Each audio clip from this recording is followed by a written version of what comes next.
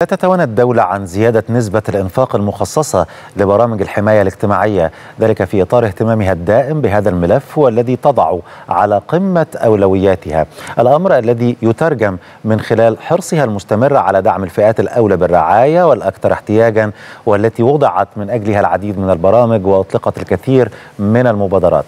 تشمل برامج الحماية الاجتماعية في مصر مبادرات مثل تقديم الدعم المالي المباشر للأسر المحتاجة. وتوفير فرص العمل والتدريب المهني وأيضا تحسين الخدمات الصحية والتعليمية في المناطق الفقيرة وتعزيز السلامة الاجتماعية للفئات الضعيفة مثل الأيتام وكبار السن وذوي الهمم. من خلال هذه البرامج بتسعى الدولة إلى تحقيق توازن اقتصادي واجتماعي يعم الفائده على جميع شرائح المجتمع مع التركيز على تحسين أوضاع الفئات الفقيرة والهشة وتوفير حياة أفضل لهم للحديث أكثر تفصيلا أرحب بضيفي الكاتب الصحفي الأستاذ رفعت رشاد. أهلا بحضرتك أستاذ رفعت. وبداية كيف ترى تصنيف مصر من بين الدول العشرين الأولى في العالم الأكثر إنفاقا على برامج الحماية الاجتماعية كنسبة من الناتج المحلي الإجمالي بحسب آخر التصنيفات الدولية؟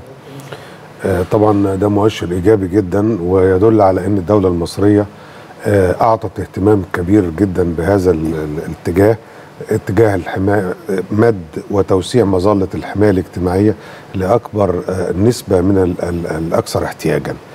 الدولة عملت العديد من المبادرات والبرامج وفي الموازنة الجديدة إن شاء الله السيد رئيس إدى توجيهات إنه بزيادة الموازنة الخاصة بمساعدة المحتاجين أو توسيع مظلة الحماية الاجتماعية. الموازنة الجديدة هتزيد اللي هي 24 هتزيد بحوالي 100 أو أكتر 100 مليار أو أكتر بحيث إن هي تضاعف أو تزيد من نسبة الإنفاق على برامج الحماية الاجتماعية. في السابق وفي القادم إن شاء الله هذا يعني إن هذه النسبة الزيادة تمثل نسبة يقابلها أو يوازيها من الناتج الإجمالي المحلي.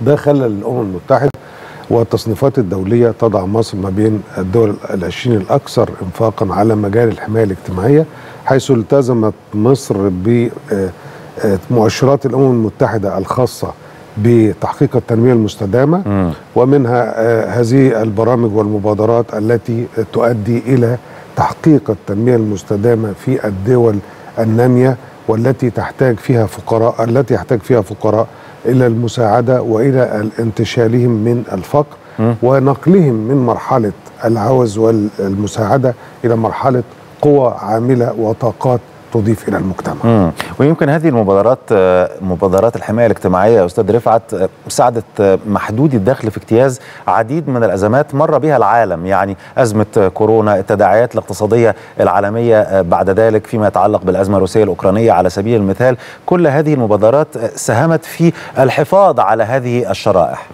كان في نوع من المبادرة من جانب الدولة وال وال وال والأسبقية للأحداث بحيث إنها جهزت هذه البرامج. آه بقدر ما تستطيع طبعا لأن الظروف الاقتصادية آه كانت صعبة على مصر في الفترات الماضية.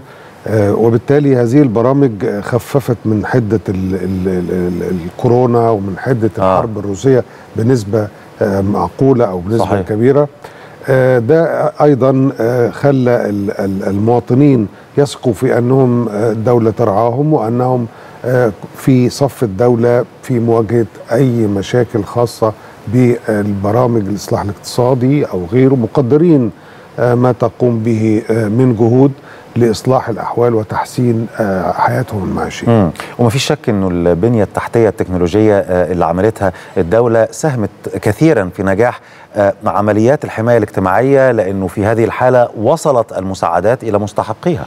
ده أكيد لأنه آه كنا زمان مثلا نقول اللي بياخد شقة ممكن ياخد شقتين ثلاثة واللي بياخد حاجات من التموين ياخدها من أكتر من جمعية لا دلوقتي في بيانات آه على الكمبيوتر وده بيساعد على إنه تكتشف إذا آه يعني كتب اسم أي حد م. في أسوان يعرفوا اللي في اسكندرية والعكس وهكذا بحيث إنه الدعم يصل إلى مستحقيه فعلا القصة كانت يعني فيها شوية آه، إفراط في التسهيل أو حاجات زي كده لكن دلوقتي أصبح المواطن المستحق بالورقة والقلم بالأرقام من حيث المرتب من حيث الدخل من حيث الإمكانيات والثروات اللي معاه أو ال- الممتلكات اللي معاه وبالتالي يصل الدعم إلى مستحقيه وهذا أمر جيد جدا لأنه في الآخر آه، لما يصل الدعم لمستحقيه يعلو أو يتحسن مستوى هذا المواطن وبالتالي نسبة المستفيدين تكون أكثر بكثير